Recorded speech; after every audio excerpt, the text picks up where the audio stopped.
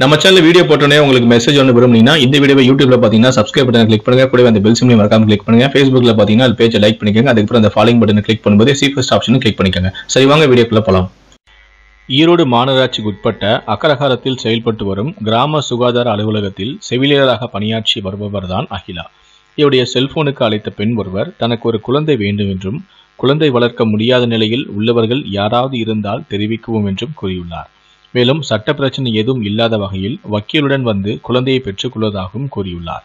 இது குறித்து மாவட்ட குழந்தைகள் நல அலுவலருக்கு செவிலியரான அகிலா தகவல் தெரிவித்த பின்னர் கருங்கல்பாளையம் போலீசில் இது குறித்து அகிலாவும் புகாரும் செய்தார். போலீசாரின் ஆலோசனைப்படி செல்போனில் பேசிய பெண்ணிற்கு செவிலியரான அகிலா போன் செய்து குழந்தை உள்ளதாகவும் வந்தால் பெற்றுக்கொள்ளலாம் என்றும் கூறியுள்ளார். இதையடுத்து குழந்தையை வாங்குவதற்காக வந்த இரண்டு பெண்கள் உட்பட மூன்று பேரை போலீசார் பிடித்து விசாரணை நடத்தினார்கள்.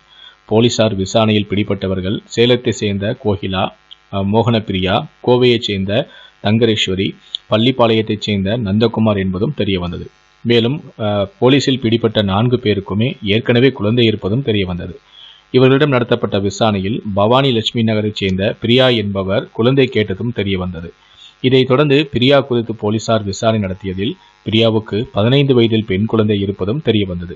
தற்போது சண்முக பிரியா தலைமறைவாக இருப்பதால் சண்முக பிரியா பிடிபட்டால் மட்டுமே குழந்தை யாருக்காக கேட்கப்பட்டது இதன் பின்னணியில் இருப்பவர்கள் யார் என்பது உள்ளிட்ட விவரங்கள் தெரியவரும் என்றும் போலீசாரும் தெரிவித்துள்ளனர்.